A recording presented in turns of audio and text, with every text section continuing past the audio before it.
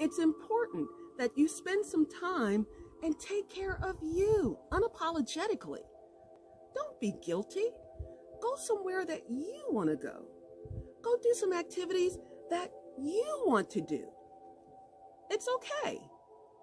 It is okay.